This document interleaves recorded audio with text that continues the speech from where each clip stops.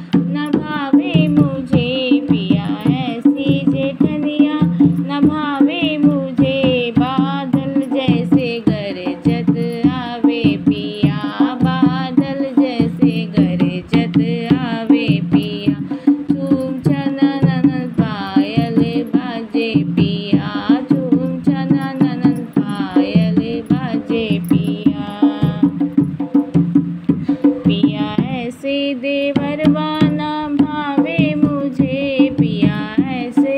देवरवा ना भावे मुझे पिया ऐसे।